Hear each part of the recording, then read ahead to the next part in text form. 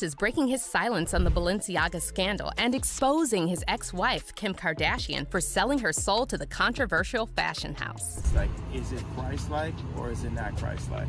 Kim is currently facing major backlash over her response to Balenciaga's disgusting ad campaign featuring children, and it looks like Kim's disturbing connection to Balenciaga runs deeper than we thought. So, what exactly did Kanye reveal about Kim selling her soul to Balenciaga? Uh, a lot of imagery that's been coming out and things that I'll tell.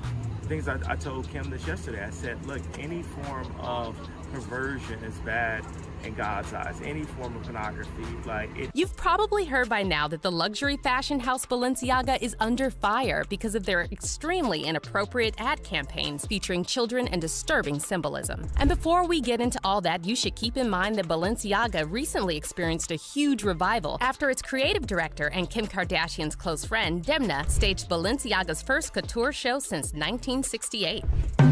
Today, Balenciaga Haute Couture, a document for fashion history. Demna Gvasalia at work. The first haute couture show from the house of Balenciaga since February 1968. This is no ordinary fashion show.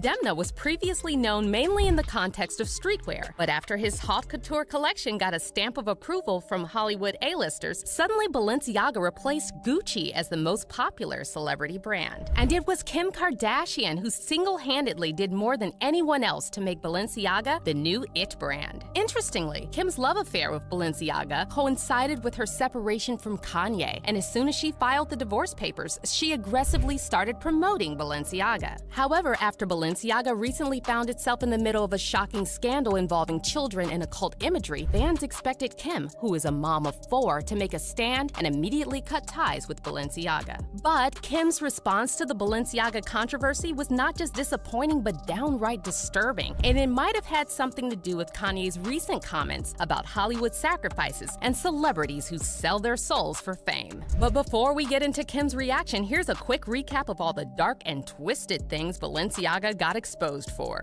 It all started in early November when Balenciaga shared a series of very creepy photos taken for their new gift shop ad campaign. The photos featured young children posing with teddy bears dressed in bondage and surrounded by shocking props. Some of the disturbing props included a child's drawing of the devil and a roll of yellow caution tape that misspelled the word Balenciaga to show the word Baal, which is the name of a fertility demon and one of the princes of hell. By the way, back in March, Kim wore a bizarre bizarre outfit made entirely of the same Balenciaga yellow tape. And also, take a look at this recent clip from the Kardashians on Hulu, with Kim making fun of Kris Jenner for pronouncing Balenciaga and repeatedly saying the word ball. No, but tell say, say Balenciaga.